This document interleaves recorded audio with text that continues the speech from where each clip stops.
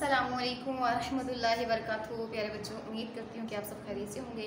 तो बेटा जी, आज हमने जो है अदरसादिस बा, सूरत अहज़ाब की मश करनी है हमने। तो सबसे पहले बारी आती है अलकालिमत तरकीब की। तो जी, सबसे पहला जो लफ्ज़ है वो है, युदनीना नीचे कर लिया करें। और अगला है जलाबीब। जलाबीब कहते हैं चादरों को। चादरें, इसका वाही जो होता है, वो होता है जिलबाब या जिलबाब इसको कहते हैं।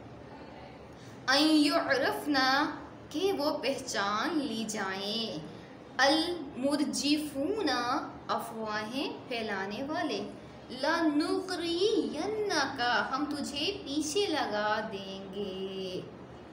अगला जी लफ्ज़ है ला युजाविरूना ला युजाविरूना का मतलब होता है जार। इसके अंदर जो लफ्ज़ छुपा है, जार है। जीम, अलिफ, रॉ, इसको कहते हैं पड़ोसी। वो पड़ोस में ना रह सकेंगे। वमा युदरी का तुझे क्या खबर? अच्छा जी, उसके बाद बेटा बारी है तमारीन की। तो इसके अंदर जो है, सबसे पहला जो सवाल है, वो है कि इस सबक की आयात में मुसलमान औरतों को पर्दे के सिलसिले में क्या हदायत दी गई हैं और इसकी क्या हमत बयान की गई है? तो देखें, मुसलमान औरतों को पर्दे के सिलसिले में ये हदायत दी गई हैं कि जब वो अपने घरों से बाहर निकला करें तो अपने चेहरों को बड़ी बड़ी चादरों से ढांप लिया करें। ऐसा करने की हमत ये है कि कुफार और मुनाफिकीन पहचान जाएँगे कि ये मुसलमान ख़वान हैं और इस तरह वो इन औरतों को ईज़ा नहीं देंगे।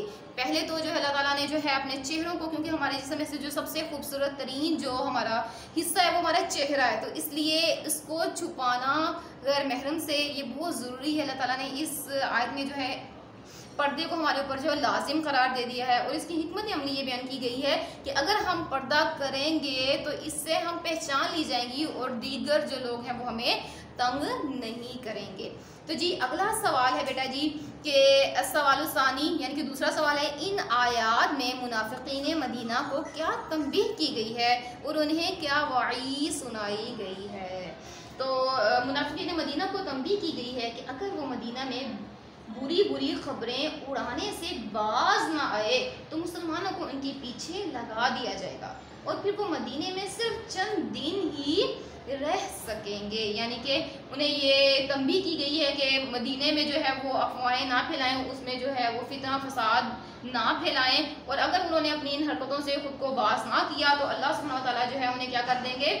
फिर उन्हें इस शहर से जो है वो बाहर निकाल देंगे। और नबी पाक को जो है उनके पीछे लगा देंगे और फिर वो शहर में ना रह सकेंगे, सिवाय चंद ही दिन के। तो जी बेटा सवालिस है, तीसरा सवाल है, कुरान हकीम की इन आयात में क़्यामत के मुतालिक क्या फरमाया गया है? तो अल्लाह सुबहान ने ये सूरत अहज़ाब की इन आयात में क़्यामत के मतलब ये फरमाया, अब हुआ क्या था कि काफिर और जो मुनाफिकीन थे, वो हज़रत मोहम्मद से दरियाफ्त किया करते थे कि क़्यामत कब आएगी कि ए नबी, तुम तो कहते हो ना कि क़्यामत आ जाएगी क़्यामत को ये होगा तो बताओ, चलो क्या आनी आने कब है? फिर आ क्यों नहीं रही, यानी कि वो इस तरह से सवाल किया करते थे। तो अल्लाह सुबहाना ताला ने बजरिया वही इसका जवाब दिया, इरशाद वाली ताला है कि इन लोगों से कह दो कि क़यामत का इल्म सिर्फ़ अल्लाह के पास है और उनको क्या मालूम कि शायद क़्यामत बहुत करीब आ गई हो। यानी कि जो इल्म है सा इसमें अल्फाज इस्तेमाल हुआ है कुरान पाक में सात यानी कि घड़ी, कौन सी घड़ी? क़यामत की घड़ी। तो इसके बारे में जो है वो कोई भी नहीं जानता है सिवाय अल्लाह सुबहाना ताला के। हाँ कुछ इलामत, कुछ निशानियाँ नबी पाक ने जो है वो हमें बता दी। तो इसके अलावा और कुछ भी जो है वो नबी पाक ने हमें एग्जैक्ट टाइम पीरियड नहीं बताया। एक हदीस में है कि नबी पाक ने फरमाया कि मैं और क़यामत इस तरह से, जैसे ये मेरी दो उंगलियाँ हैं। नबी पाक ने अपनी ये शहादत की और उसके साथ वाली जो उंगली को खड़ा करके इस तरह से बताया कि यानी कि मेरे फ़ौरन बाद जो है वो क़यामत जो है वो बर्पा हो जाएगी। तो इसलिए क़्यामत का जो इल्म है कि वो किस वक्त होगी, इसके बारे में सिर्फ़ और सिर्फ़ अल्लाह सुबहान ताली ही की ज़ात जो है वो बेहतर जानती है। जजाकमुल्ला खैर अस्सलाम वालेकुम व रहमतुल्लाहि व